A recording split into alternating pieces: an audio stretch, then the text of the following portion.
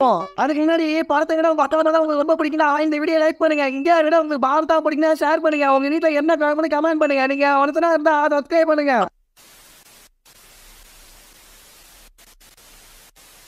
படத்தோட ஸ்டார்டிங்கில் ஒரு லேடி கொல்லப்படுறாங்க. போலீஸ் எல்லாம் வந்து இன்வெஸ்டிகேஷன் பண்ணுறாங்க அதுக்கப்புறம் அங்கேருந்து அவரோட ஹஸ்பண்ட் அரெஸ்ட் பண்ணி விசாரணைக்கு கூப்பிட்டு போகிறாங்க அவர் அங்கேருந்து யோசிச்சு பார்க்குறாரு. அவரும் அவரோட ஒய்ஃபும் பார்ட்டிக்கு போயிருப்பாங்க. ஆக்சுவலாக நம்ம ஹீரோ தான் அந்த பார்ட்டி அரேஞ்ச் பண்ணியிருப்பாரு. நம்ம ஹீரோயினுக்கு வந்து அவங்க ட்ரஸ்ட் ஒன்று வச்சு நடத்திட்டு இருப்பாங்க. அந்த ட்ரஸ்ட்டில் வந்து தேவையான அமௌண்ட் கிடச்சிருக்கும். அதை செலிப்ரேட் பண்ணுற விதமாக நம்ம ஹீரோ தான் அவங்களுக்கு பார்ட்டி கொடுத்துருப்பாங்க. அந்த பார்ட்டிக்கு போயிட்டு வந்துட்டு இருக்கும்போது அவருக்கு ஒரு எமர்ஜென்சி கேஸ் வந்திருக்கு அப்படின்னு சொல்லி கால் வரும். அதனால் அவங்களோட ஒய்ஃப் அங்கே விட்டுட்டு அவர் மட்டும் அந்த எமர்ஜென்சி கேஸ் அட்டன் பண்ண போவார். அதுக்கப்புறம் மறுபடியும் வீட்டுக்கு வந்து பார்த்தா அவங்க மனைவி இறந்து கிடப்பாங்க. அங்கேருந்து ஒரு நபர் ஓடுவான். அவனை பிடிச்சி தடுக்க பார்ப்பாரு. பட் இருந்தாலும் அவன் எஸ்கேப் ஆயிடுவான். அதை உட்காந்து யோசிச்சுட்டு இருக்காரு. அதுக்கப்புறம் போலீஸ்காரங்க வராங்க. அந்த கிளப்பில் அவங்க மனைவிக்கு அப்புறம் எல்லாமே நீங்கள் தானே? அப்படின்னு ஒரே ஒரு கேள்வி தான் கேட்குறாங்க. ஆமாம் அப்படின்னு இவர் சொன்னோடனே இந்த போலீஸ்காரங்க என்ன நினைக்கிறாங்கன்னா இவர் தான் பணத்துக்காக அவங்க ஒய்ஃபை கொலை பண்ணிட்டாரு நினைக்கிறாங்க. ஸோ அதனால் அதே பாயிண்ட் ஆஃப் வியூவில் கேஸை க்ளோஸும் பண்ணுறாங்க இந்த கேஸை கோர்ட்டுக்கும் வருது.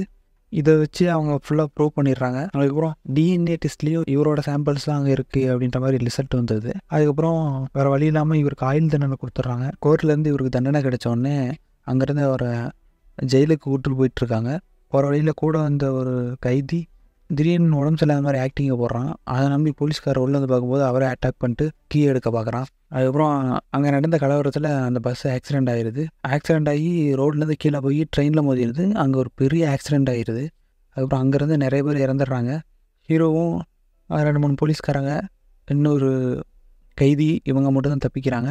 பஸ் ஆக்சிடென்ட் ஆன தெரிஞ்ச உடனே அங்கே போலீஸெல்லாம் வந்துடுறாங்க. பயங்கரமாக இன்வெஸ்டிகேஷன் பண்ணிட்டு இருக்காங்க இப்போது அந்த இடத்துக்கு ஒருத்தர் வராரு. இவர் வந்து அங்கே இருக்க சிபிஐ மாதிரி அங்கே இருக்க லோக்கல் போலீஸ்கிட்ட இருந்து அந்த கேஸை வாங்கி நம்ம போலீஸ்காரர் இவர் இந்த கேஸை எடுக்கலாம் அப்படின்னு சொல்லிட்டு சார்ஜ் எடுத்துக்கிறாரு. அதுக்கப்புறம் தப்பிச்ச நம்ம டாக்டர் அங்கேருந்து ட்ரெஸ் சேஞ்ச் பண்ணிக்கிட்டு ஒரு ஹாஸ்பிட்டலுக்குள்ள போய் சம்மந்தமே இல்லாத இது ஒரு பேஷண்ட் ரூமுக்குள்ளே போய் அவரோட சாப்பாட்டை சாப்பிட்டு அவரே அவருக்கு ட்ரீட்மெண்ட் பண்ணிக்கிறாரு. அவரோட கெட்டப்பை ஃபுல்லாக சேஞ்ச் பண்ணிக்கிட்டு வெளியே வராரு. வந்து பார்த்துட்டு அவர்கிட்டயே ஒரு போலீஸ்கார் வந்து எஸ்கேப் ஆகிருக்காரு அவரை பார்த்தா கண்டிப்பாக சொல்லுங்கள் அப்படின்ட்டாரு. ஆ கண்டிப்பாக நானும் சொல்கிறேன் அப்படின்னு சொல்லிட்டு அவர் பாட்டு வெளியே வரார் கேஷுவலாக வெளியே வந்தால் ஒரு ஆம்புலன்ஸில் அங்கேருந்து ஒரு போலீஸ்காரை கபாதி கூப்பிட்டு வராங்க. அவர் வந்து இவரை பார்த்துட்டு இது அடையாளம் தெரியுது. இருந்தாலும் இவரை டக்குன்னு உள்ளே கூட்டு போங்க அப்படின்னு சொல்லிட்டு நம்ம போலீஸ்காரை சொல்லிட்டு அவங்க வந்து அந்த ஆம்புலன்ஸை எடுத்துகிட்டு இவர் கிளம்பிடுறாரு. அவர் ஆம்புலன்ஸ் எடுத்துகிட்டு போன அந்த விஷயம் நம்ம போலீஸ்காரருக்கு தெரிஞ்சிருது.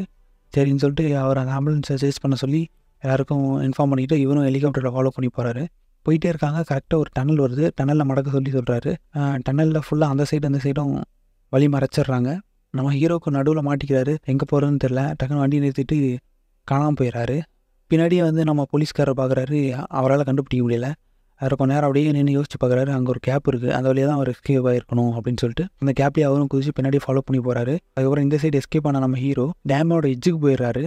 அதுலேருந்து ஒரு செகண்ட் தள்ளினா உள்ளே விழுந்துருவோம் அப்படின்ற அந்த ஒரு எட்ஜில் நிற்கிறாரு அப்புறம் அங்கேருந்து நம்ம போலீஸ்காரர் வந்து ஒழுங்காக கையை தூக்கு அப்படின்னு சொல்லி சொல்கிறாரு கையை தூக்குன்னு சொல்லிகிட்டு இருக்கும்போதே நம்ம ஹீரோ வந்து கொஞ்சம் கூட விஷயமா அந்த டேம்லேருந்து கீழே ஏறி குச்சிடுறாரு இதை கொஞ்சம் கூட எதிர்பார்க்காத நம்ம போலீஸ்காரரு இவனை எப்படியாவது கண்டிப்பாக பிடிக்கணும். மற்ற போலீஸ் ஹெல்ப்பு கூப்பிடு அப்படின்னு சொல்லிட்டு அவர் அசிஸ்டன்ட்டு சொல்லிட்டு வேகமாக இந்த இடத்த விட்டு கிளம்புறாரு. அப்புறம் டேம்லேருந்து குதிச்சு தப்பிச்சு நம்ம ஹீரோ ஒரு ஓரமாக கரவுதுங்கிறாரு அதுக்கப்புறம் அங்கேருந்து யாருமே யூஸ் பண்ணாத ஒரு இடத்துக்கு போய் அவரோட கெட்டப் ஃபுல்லாக சேஞ்ச் பண்ணிக்கிட்டு மறுபடியும் சிட்டிக்குள்ளே வராரு. அதுக்கப்புறம் அடுத்த சீனில் வேற ஒரு கேஸ்லேருந்து தப்பிச்சு ஒரு கைதி ஒரு வீட்டில் இருக்க ஆப்ரேட்டர் நியூஸ் வருது. அவங்கள பிடிக்கிறதுக்காக எல்லாருமே கெட்டப் சேஞ்ச் பண்ணிட்டு போகிறாங்க அங்கே போன உடனே நம்ம நம்ம போலீஸ்காரர் கூட வந்த அவரோட அசிஸ்டண்ட்டை அங்கேருந்த கைதி பிடிச்சிடுறான். பிடிச்சி வச்சுக்கிட்டு என்னையவே பிடிக்க வரீங்களா நீங்கள் எல்லாரும் உள்ளே வந்தீங்கன்னா இவனை சுட்டு கொண்டுருவேன் அப்படின்றாரு.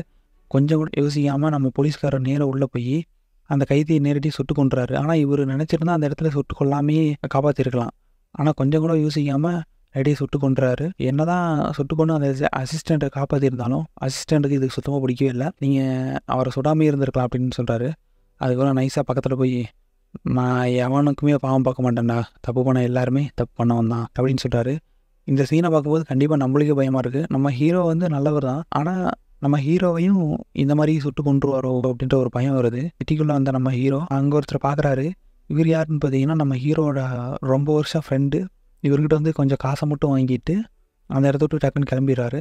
அவர் காசை வாங்கிட்டு நேராக போய் அவருக்குன்னு ஒரு வாடகை போய் பார்க்குறாரு பார்த்து ஓகே எனக்கு பிடிச்சிருக்குன்னு சொல்லி அந்த வீட்டை ஓகே பண்ணிடுறாரு. அதுக்கப்புறம் அங்கே பக்கத்தில் இருக்க ஹாஸ்பிட்டலுக்கு போகிறாரு மெயினாக இந்த காலெல்லாம் உடஞ்சா பிளாஸ்டிக்கில் ரெடி பண்ணி கொடுப்பாங்கல்ல. அந்த மாதிரி ஒரு செட்டப் இருக்க ஏரியாவுக்கு போகிறாரு அங்கே தான் ஆக்சுவலாக மெயினாக எல்லாருக்கும் இந்த மாதிரி செட் பண்ணிகிட்ருக்காங்க நம்ம ஹீரோயினோட ஒய்ஃபை கொண்டவனுக்கும் இந்த மாதிரி தான் செட் பண்ணியிருக்கோம் கால் எல்லாமே. இவரோட பிளான் என்னென்னா இந்த பிளாஸ்டிக் கை அது இல்லாமல் இவ்வளோ அளவு தான் இருக்கும் அப்படின்ற அந்த அவருக்கு ஒரு கணிப்பு இருக்குது அந்த அளவில் இருக்க கையை யாருக்கு வச்சுருக்காங்க அப்படின்றத கண்டுபிடிக்க போகிறாரு அதுக்காக அந்த ஹாஸ்பிட்டலில் ஒர்க் பண்ணுற ஒரு கிளீனரோட ஐடி கார்டை சுட்டுறாரு. அதுக்கப்புறம் இந்த சைடு நம்ம போலீஸ்காரரும் அவரோட அசிஸ்டண்ட்டும் வந்து நம்ம ஹீரோட ஃப்ரெண்டை விசாரிக்கிறாங்க. உங்கள் ஃப்ரெண்டு உங்களை மீட் பண்ணாரா? என்ன இதை சொன்னாரா? அப்படின்னு கேட்குறாங்க அவர் என்கிட்டருந்து கொஞ்சம் காசை மட்டும் வாங்கிட்டு போயிட்டாரு. அப்படின்னு சொல்லி ஹீரோட ஃப்ரெண்டு சொன்னோன்னே சரி ஓகே நீங்கள் எனக்கு ஹெல்ப் பண்ணுங்கள் அப்படின்னு போலீஸ்காரர் கேட்குறாரு என் ஃப்ரெண்ட் அந்த மாதிரிலாம் பண்ணியிருக்க மாட்டான் அப்படின்னு சொல்லி அவர் பேசிகிட்டு இருக்காரு. அதுக்கப்புறம் அந்த ஐடி கார்டை உஷார் பண்ண நம்ம ஹீரோ அந்த ஹாஸ்பிட்டலில் க்ளீன் பண்ணுற ஒரு மாதிரி பக்காவாக ரெடியாகிறாரு ஸோ அப்படியே படுத்து தூங்கிட்டு இருக்காரு. அங்கே வந்து பார்த்தா திடீர்னு போலீஸ் அவரை வீட்டை பயங்கரமாக ரவுண்ட் அப் பண்ணுறாங்க என்னென்னு பார்த்தா அந்த வீட்டு ஓனர் பையனை அரெஸ்ட் பண்ணிட்டு போயிட்டு இருக்காங்க அவர் அந்த இடத்துல ரொம்ப மனசு உடஞ்சு போகிறாரு பண்ணாத தப்புக்கு இப்படி போலீஸ் திட்டுது அவரோட ஒய்ஃபும் இறந்துட்டாங்க அப்படின்ற சோகத்திலே இருக்கார் மனுஷன். அதுக்கப்புறம் அடுத்த சீனில் இவர் க்ளீன் பண்ணுற மாதிரி நேரம் உள்ளே போயிட்டு அங்கே இருக்க சிஸ்டம் யூஸ் பண்ணி கரெக்டாக ஃபில்ட்ரு பண்ணி ஃபில்ட்ரு பண்ணி எடுக்கிறாரு. ஒரு அஞ்சு பேரோட கார்டு அவர் அணைக்கிறது மேட்ச் ஆகுது. இந்த அஞ்சு பேரில் யாரோ ஒருத்தன் தான் கொலையாளி அப்படின்னு கண்டுபிடிக்கிறாரு. அதுக்கப்புறம் இந்த சைடு என்னடான்னு பார்த்தா நம்ம ஓனர் பையன் அரெஸ்ட் பண்ணது வந்து அவன் எதுவும் தப்பு பண்ணதுக்காக இல்லை. நம்ம ஹீரோவை பற்றி விசாரிக்க. ஆக்சுவலாக நம்ம போலீஸ்காரை வந்து இவர் தங்கியிருந்த இடத்த கண்டுபிடிச்சிட்டாரு. அதுக்கப்புறம் இந்த சைடு அந்த ரெக்கார்டை எடுத்துகிட்டு வந்து நம்ம ஹீரோ கிளீனர் ட்ரெஸ் இருக்கிறனால அங்கேருந்து ஒரு டாக்டர் கூப்பிட்டு ஒரு பையனை கீழே கூப்பிட்டு போங்க. ரொம்ப எமர்ஜென்சி அப்படின்னு சொல்கிறாங்க அந்த பையனை பார்த்துட்டு ஹெல்ப் பண்ணணும்னு ஹீரோவுக்கு தோணுது. அதனால் லிஃப்ட்டில் தள்ளிட்டு போயிட்டு அவனோட ரிப்போர்ட்டை பார்த்து தப்பாக இருக்க அந்த ரெக்கார்டை மாற்றி அவனுக்கு தேவையான சரியான ட்ரீட்மெண்ட் எழுதி கொடுத்துட்றாரு. இவருக்கு இவ்வளோ கஷ்டம் இருந்தாலும் அவனுக்கு ஹெல்ப் பண்ணது ரொம்ப சந்தோஷம். அவருக்கு அவ்வளோ கஷ்டம் இருந்தாலும் அந்த கஷ்டத்துலேயும் ஹெல்ப் பண்ணணும்னு நினைக்கிறார் மனுஷன். அதுக்கப்புறம் அதை பார்த்துட்டு அந்த டாக்டர் வந்து எப்படி கரெக்டாக அவனுக்கு ட்ரீட்மெண்ட் கொடுத்தீங்க? அப்படின்னு கேட்குறாங்க இல்லை எனக்கு தெரில அந்த ரெக்கார்டில் இருந்தது தான் நான் கொண்டு போய் கொடுத்தேன். எனக்கு எதுவும் தெரியாது அப்படின்னு சொல்லிட்டு நம்ம ஹீரோ அந்த இடத்துக்கு கிளம்பிட்டாரு. அங்கே இருந்த டாக்டர் வந்து நம்ம போலீஸ்காரன் விசாரிக்கிறாரு. என்ன நடந்ததுன்னு? நான் அவர் ஐடி கார்டை பிடிக்கிட்டு வெயிட் பண்ணுங்கன்னு சொன்னேன். அவர் பாட்டுக்கு நேராக கிளம்பி போயிட்டாரு. இவ்வளோ தான் எனக்கு தெரியும்னு சொல்லிட்டு அவங்க கிளம்பிடுறாங்க.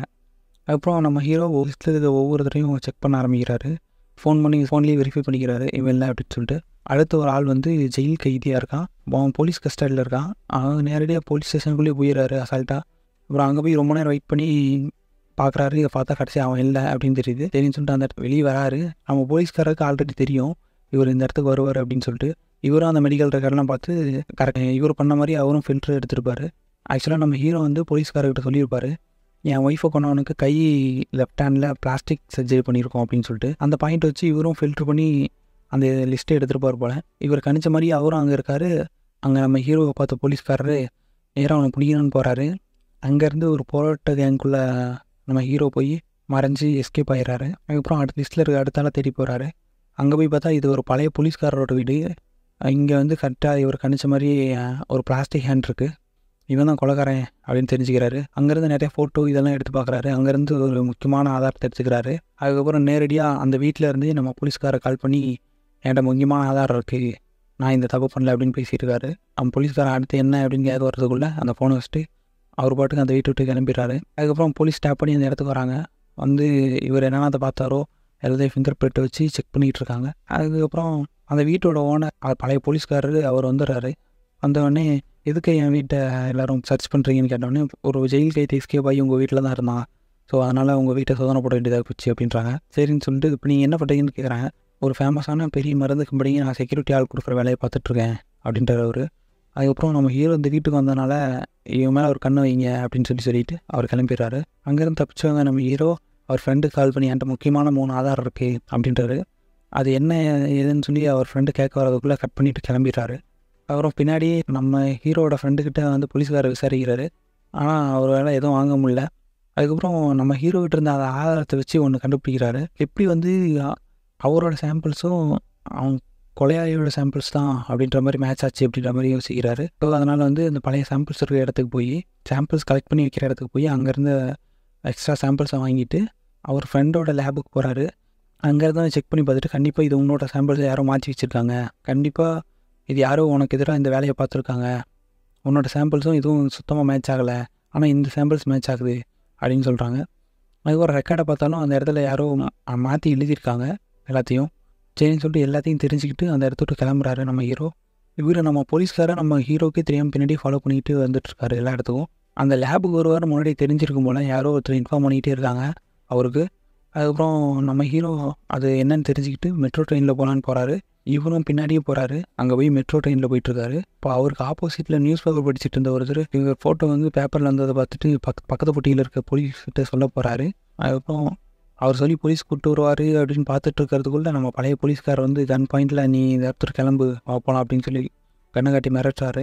கொஞ்சம் கூட யோசிக்காத நம்ம ஹீரோ மூஞ்சிலி ஒரு குத்து விட்றாரு. பழைய போலீஸ்காரர் வந்து இப்போ பக்கத்து பெட்டியிலேருந்து வந்த போலீஸ்காரை சுட்டு கொண்டுறாரு அதுக்கப்புறம் நம்ம ஹீரோ பயங்கரமாக இவரை அடித்து போட்டு போலீஸ்கிட்ட இருந்த ஹேண்ட் கப்பை தூக்கி இவர் கையில் மாட்டி விட்டு நம்ம ஹீரோ கன்னோட எஸ்கேப் ஆயிடுறாரு இப்போ தான் அவருக்கு எல்லாமே புரிய வருது இது எல்லாம் யார் காரணம்? அப்படின்னு சொல்லிட்டு அவரோட பாலிய நண்பர் அந்த பத்து வருஷம் பழக்கக்கார நண்பர் தான். இந்த பழைய போலீஸ்காரரும் அவரோட ஃப்ரெண்டும் ரெண்டு பேரும் சேர்ந்து அவங்க ஒய்ஃபை கொண்டுட்டு நம்ம ஹீரோ மேலே பழிய போடலாம் அப்படின்றத ரெண்டு பேரோட பிளான் அதுக்காக ரெண்டு பேரும் சேர்ந்து பிளான் பண்ணி அவரோட ஒய்ஃபை கொண்டுட்டு சாம்பிள்ஸையும் இவரோட சாம்பிள்ஸை மாற்றி வச்சு நம்ம ஹீரோவை மாட்டி விட்டு அந்த அந்த அமௌண்ட்டுக்காக இவர் கொலை பண்ணாருன்னு சொல்லி இவரை மாட்டி விட்டு அந்த டெஸ்ட்டில் இருக்க மொத்த அமௌண்ட்டையும் எடுத்துக்கலாம் சொல்கிறது தான் அவங்க ரெண்டு பேரோட பிளானாக இருந்திருக்கு. அதுக்காக ஒரிஜினல் சாம்பிள்ஸ் எடுத்து ரெடி பண்ண அந்த லேப் அசிஸ்டண்ட்டையும் கொண்டு இருப்பாங்க.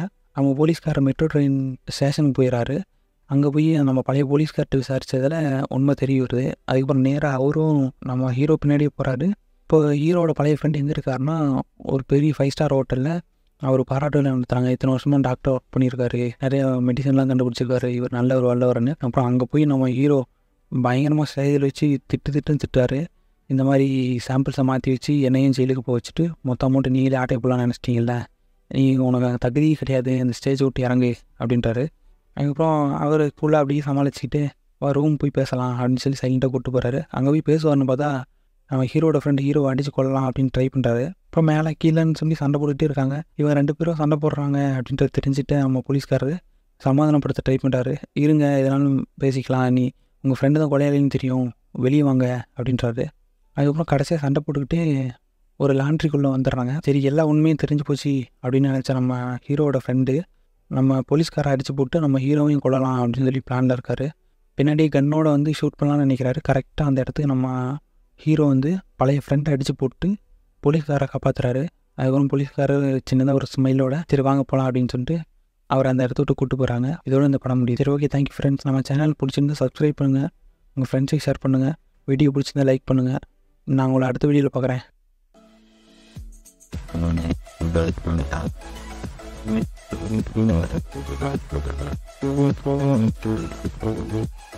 Thank you.